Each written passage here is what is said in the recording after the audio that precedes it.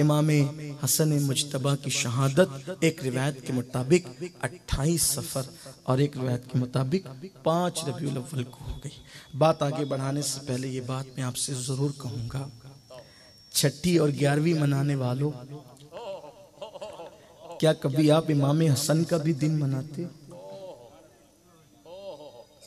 जिन्होंने इतने दुख सहे तुम्हारी खातिर, क्या वो इस काबिल भी ना रहे? कि तुम्हारे पीर का तो उर्स हो। अरे मामा हसन पाक का दिन गुजर जाए, तुम्हारे बच्चों को खबर भी ना हो। यही हक था अहले बैत का।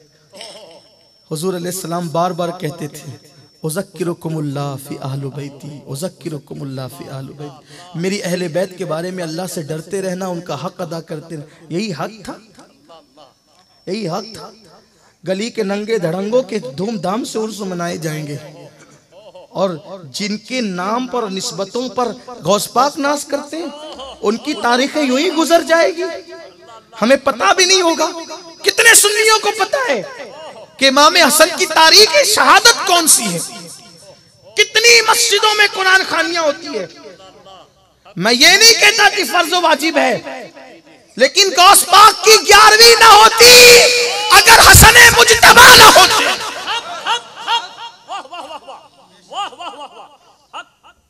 हम ग्यारहवीं वाले, अल्हम्दुलिल्लाह, मैं तहदीस नेमत के लिए कहता हूँ, हम हर महीने ग्यारहवीं करते अल्हम्दुलिल्लाह। हर महीना छुट्टी करते, अल्हम्दुलिल्लाह, करते करते रहेंगे। गरीब नवाज़ का हम पैसा नहीं, मैं मना नहीं कर रहा हूँ, लेकिन इस पर भी तो तवज्जो हो। हमने महफिलें सबकी सजाई। हसन मुश्तबा की महफिल आप कितनी सजाते हसन पाक की महफिल कितनी सजाते हो? खुदा की कसम हम इमाम हुसैन को भी मानते हैं। और अल्लाह की इज़्ज़त की कसम, हमारे ईमान की कसौटी है हुसैन पाक।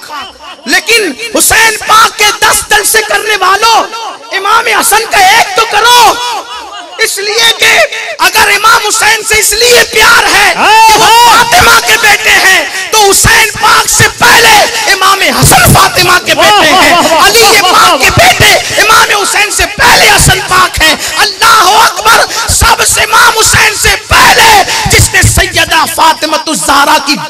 इख्तियार की है। वो इमाम हसन मुश्तबा है।